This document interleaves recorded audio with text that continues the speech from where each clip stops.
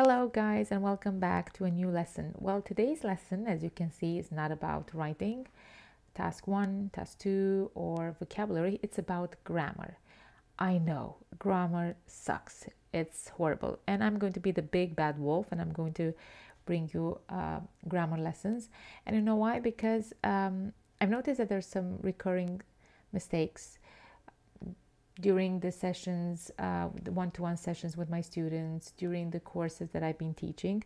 And I said, okay, why not? Let's have a go. Let's see which are the most common grammar mistakes and let's see how we can deal with them.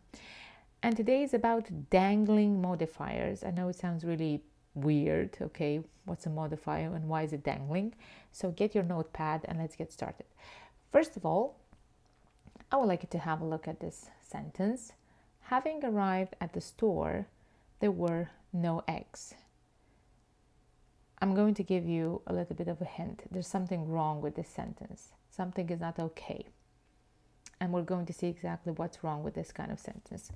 First of all, what is a modifier? Well, modifiers or descriptive words or phrases usually add a great deal of interest to a sentence and they're very important and they're actually a very important tool for descriptive writing because they engage um, the reader. However when used improperly modifiers can be quite confusing and sometimes they can distort the meaning of a sentence. So in this lesson we're going to deal with this particular problem with our dangling modifiers. What's a modifier? Yeah it's a word or a phrase that adds additional detail to a sentence. And they can be adjectives, adverbs, possessive pronouns, or phrases. And they always, but they always, they must always modify or describe something in a sentence. And they usually describe a subject, a verb, or an object. And here we have three modifiers excited, quickly, and yellow. And they each modify something a noun, a verb, and another noun. Yeah, they're all modifiers. Okay, but where should modifiers be placed? Okay, so we've got here two sentences the happy girl and the girl was happy. So, first of all, modifiers needs to be as close as possible to what they're modifying, and ideally, they should be directly next to the thing being modified, either before or after, sometimes with a helping verb. A helping verb, such as to be, it's an auxiliary verb. And here either order is acceptable since was is a helping verb that's considered part of the modifier. And adjectives like happy go before the thing they're modifying or after with a helping verb. Okay, this is with adjectives. What about adverbs? Well, adverbs can go either way, before or after the thing they're modifying. Yeah, we have ran quickly or quickly ran. Okay, fine. What about possessive pronouns? Well, they go before the thing they're modifying, again, or after, if we're talking about a helping verb. Here, the verb to be is a helping verb in the second sentence below. That is his toys, that toys is his. So here, um, the verb to be goes together with the possessive pronoun. What about longer phrases? Such as in this kind of situation? Well, phrases, they can go before or after the thing they're modifying, but it's the punctuation here is very important. Usually with a comma or commas, you have to separate it. Alex, a refined painter, and usually in speech you make a little pause. Or a refined painter, Alex, is known for his work. Okay, fine. So we know what modifiers are. We know the types of modifiers that we've got, where they should be placed. What in God's name is a dangling modifier? Well, first of all, dangling modifiers are bad. Bad, bad, bad, bad, bad, bad, bad, bad. And it is actually a common grammatical mistake. And a dangling modifier is a modifier which appears in a sentence, but the sub- subject being modified isn't there. Since there is no subject, the modifier hangs in empty space, dangling. Remember with the sentence with the eggs? Having arrived at the store, there were no eggs. Obviously, the first one is correct, and the second one is correct. is incorrect. Sorry, and the second one is correct. But why is that? By the way, uh, full disclosure, I'm going to use uh, 100% Romanian names because we're in Romania, so I'm going to go wild. And in this situation, we need a subject, Aurel. So, having arrived at the store, who has arrived at the store? Yeah, the phrase having arrived at the store should modify the person who arrived at the store. And since there is no person mentioned in the sentence, the first sentence, which is incorrect, isn't technically describing anything. So, having arrived at the store is a dangling modifier. So, the correct version of the same sentence is the second one. Having arrived at the store, Aurel discovered there were no eggs. Yeah, and now the sentence has a subject, Aurel, being described by the modifier, and the modifier is no longer dangling. Problem solved. Okay, we've got some examples of dangling modifiers. And the first one is the implied subject. Obviously, the first sentence is wrong.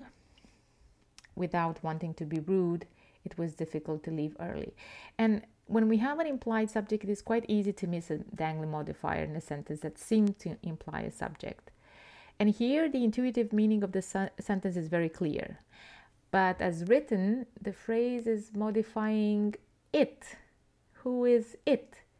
And since it does not clearly refer to any person who wanted to leave early without being rude, this is a dangling modifier. And the second one is the correct version. Yeah, again, we have another character here. Since Ionel didn't want to be rude, it was difficult for him to leave early. Yeah, so the beginning of the phrase is no longer a modifier. Instead, it's actually what? A dependent clause. A dependent clause means that you need extra information, otherwise, it doesn't make sense. If you read it, since Ionel didn't want to be rude, it's like, okay. Dependent clause needs a, an independent clause or a main clause, a clause that explains why Matt did not want to leave early. And since it's no longer a modifier, it doesn't have to describe a subject. So it's no longer dangling. Okay, then we have a single word. Sometimes dangling modifiers consist of one single word. The first sentence, which obviously is incorrect, happy. There was singing the whole way to our grandparents' house. Okay, here happy has nothing to modify, becomes a dangling modifier and the correct version is the second one, we were happy and singing the whole way to our grandparents' house. So basically, we handled a one word problem with a one word solution. We have introduced the pronoun we. And this is the most important change in the sentence that we added we, which provides a subject to happy, to be happy. All right, sometimes we have longer dangling modifiers, of course, because why not? And they can be actually more complex. And read the first one. Without considering the schedules of the people involved, the party was cancelled. Okay, here the modifiers mm, actually most of the sentence, like 80% of the sentence, and is still dangling. And actually, there's nothing in the sentence capable of consider anything. Considering what? So here's the fix. Yeah, the second one, since the hosts failed to consider the schedules schedules of other people involved, the party was cancelled. Okay, so regardless of size and significance, modifiers always need a subject to modify, otherwise they dangle. And here we have the hosts. Okay, fine. Now we understand. Okay, since we have identified the types of dangling modifiers, how are we going to undangle our modifiers. And don't beat yourself up, okay? Dangling modifiers are a very common mistake in English. However, they're quite easy to fix. All you have to keep in mind is that you need to keep your modifiers as close as possible to the thing modified and make sure they refer to something that's explicitly in the sentence. And I have prepared a little quiz for you five sentences. You've got three minutes for this one. I would like you to read the sentences very carefully. Yeah, all modifiers in these sentences are dangling. You have to make a little bit of um, change to add subjects so they're not dangling. Okay, here we go.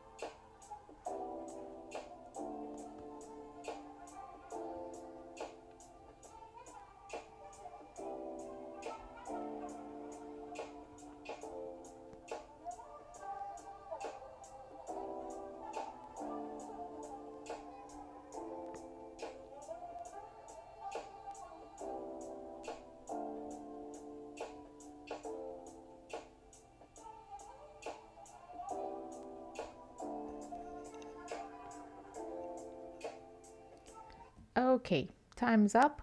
These are the answers. Now let's see what the problem is with each of them. Working on my computer, the power went out. Yeah. Who was working on my computer? The power? No. So while I was working on my computer, the power went out. Then the second one, when defrosted, dangling modifier. Who was defrosted? What was defrosted? Meat, obviously marinated for half an hour, and then you're ready to grill. The third one is really funny because if you read the sentence as it is, I smelled fresh flowers entering the reception hall. This means the actual activity of smelling flower. You pick up a flower, ah, this smells beautiful. You picked up another flower, yeah, I smelled f- fresh flowers. So basically, all the way while entering the reception hall, you were just doing the action of smelling flowers. Whereas as I was entering the reception hall, I smelled fresh flower, but this time you're not actually doing the action, but you're using your nose, the organ, to sense, to perceive the smell of fresh flower. So it's a total different meaning here. The fourth one is really funny as well.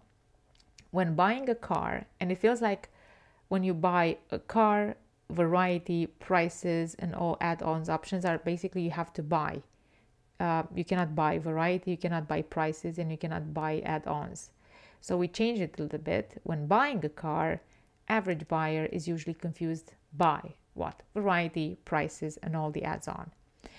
And the last one, on completing your group project, you might think, but you already have a pronoun there.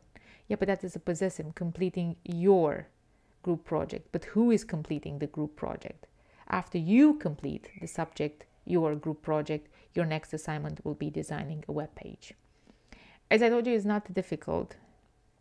All you have to uh, do is to pay attention to make sure the modifiers are very close to the thing, person, place being modified.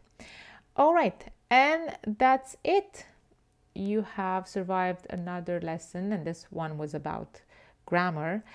If you have any other problems with your grammar um, and you feel like, hey, you know what, I feel that I'm making this mistake and I'm not really sure how to fix it, then give me a thumbs up and drop uh, your suggestions in the comment section.